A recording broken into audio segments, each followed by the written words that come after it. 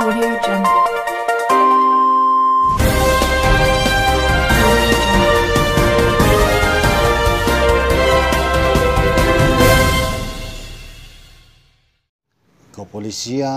Resor Polres Bantaeng, Sulawesi Selatan melakukan penyambutan terhadap Kapolres Bantaeng yang baru ini, AKBP Wawan Sumantri, hari Senin tanggal 11 November 2019.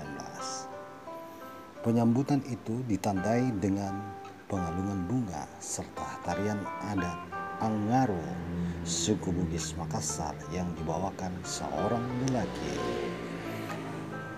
Para pejabat utama Polres Bantaeng serta jajaran memberikan penghormatan yang dilakukan oleh Sat Sabara dan Kapolsek Bayangkari serta para personil Polres Bantaeng. Selanjutnya Kapolres baru AKBP Wawan Sumantri dan Kapolres Lama AKBP Adi Projikan langsung menuju halaman Polres Bantaeng melaksanakan apel kehormatan dilanjutkan dengan jam pimpinan.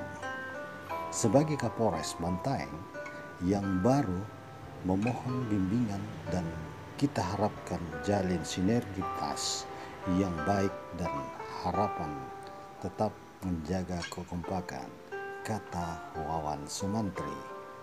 Mantan Kapolres Bantaeng, AKBP Adi Projikan bersama istri dilepas dengan pedang pura oleh personil Polres Bantaeng.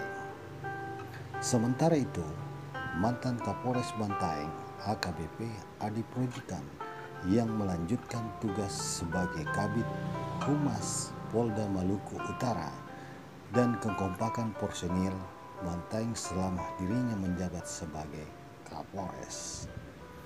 Saya meminta maaf bersama keluarga apabila selama menjabat di Kapolres Bantaeng telah berbuat kesalahan kepada para personil, ujar Adip Rojikan. Usai apel kehormatan, Wawan Sumantri dan Adip Rojikan melaksanakan laporan satuan di Aula Polres Bantaeng. Lepas sambut Kapolres Bantaeng, ini ditutup dengan pelepasan adik projikan bersama istri. Meninggalkan Polres Bantaeng dengan pengalungan bunga dan pemasangan songkok raca atau yang biasa disebut songkok pamiring juga sering disebut songkok tu bone dan pedang pora oleh personil Polres Bantaeng. Demikian laporan yang dibawakan oleh Mudahri.